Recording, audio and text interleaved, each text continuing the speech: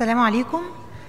طبعا في الأول أحب أشكر دكتورة شيرين ميرسي جدا على الدعوة الكريمة إن أنا أبقى معاكم في المؤتمر الجميل دوت وهنيها على نجاح المؤتمر وعلى الحضور اللي هو موجود من أول اليوم لغاية دلوقتي.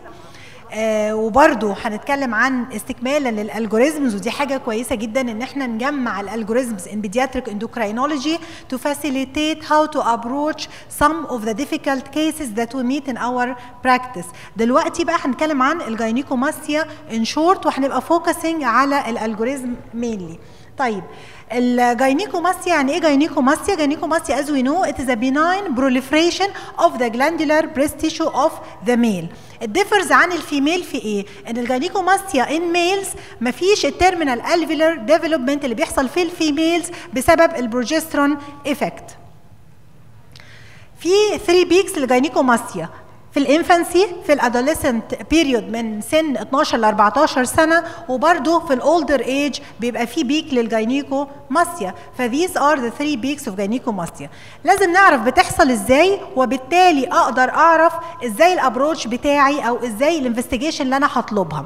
gynecomastia due to imbalance between the stimulatory effect of estrogen على ال ductal proliferation plus الانهبيتوري effect of androgen on breast development. يعني إيه؟ The imbalance دوت بيبقى سببه يا اما increased production of estrogen or decreased production of testosterone or بيبقى فيه increased conversion of androgen to estrogen in the peripheral tissue under the effect of the aromatase enzyme. The disorders of sex hormone binding globulins or the androgen receptor برضو ممكن تؤدي إلى جاينيكوماستيا. مهم جدا وأنا بعمل examination of the patient يكون lying down وإيديه وراه وأحاول آخد pinch of tissue ما بين ال skin وما بين ال tissue اللي أنا شايفاه. لو أنا حسيت إن في disc أو حاجة firm ساعتها هقول لا دي true gynecomastia this is a glandular tissue. ده علشان أفرقها من ال lipomastia. ال lipomastia لما بيبقى فيه fat أو fatty tissue هو اللي موجود هو دوت يعني اللي هي تعتبر pseudogynecomastia which is not true. طيب إحنا عرفنا الأسباب. ال investigations اللي هطلبها و accordingly هبني عليها ال algorithm of my approach.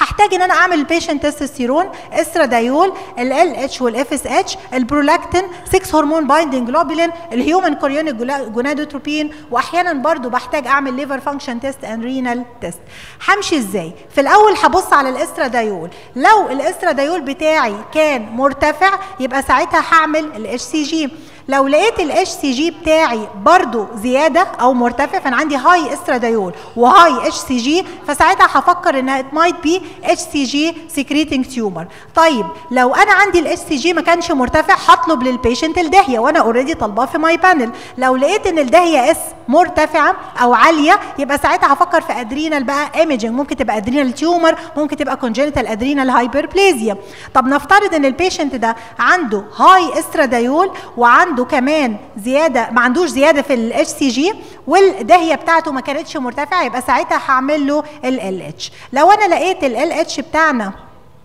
ما كانش يعني لو لقيت ال LH بتاعي normal أو decrease محتاجة إن أنا أعمل تستوستيرون أعمل sorry testicular ultrasound ليه؟ لأن it could be a testicular tumor هي اللي عاملة زيادة في ال estradiol and other investigations كانت كلها normal طب نفترض كل ال panel of investigation اللي إحنا عملناها ال HCG وال DHEA وال estradiol دي كلها كانت normal ولكن محتاجة أعمل إيه بقى؟ التستوستيرون محتاجة أتشكل تستوستيرون لو لقيت التستوستيرون بتاعي مرتفع أو زيادة زيادة يبقى أنا ساعتها همشي في السكة اللي هي اللي هناك. testosterone increase in a pubertal male ساعتها هعمل ال اتش ولو ال اتش لقيته زيادة برضو طب أنا عندي LH كويس وعندي تستوستيرون كويس يبقى هفكر في حاجة تانية خالص بره الموضوع اللي هي الثايروكسين ما انساش أعمل thyroid function test it could be hyperthyroidism هي السبب. لأن ال hyperthyroidism أو ال high T4 بي stimulate ال sex hormone binding globulin وبيزود بيقلل التستوستيرون.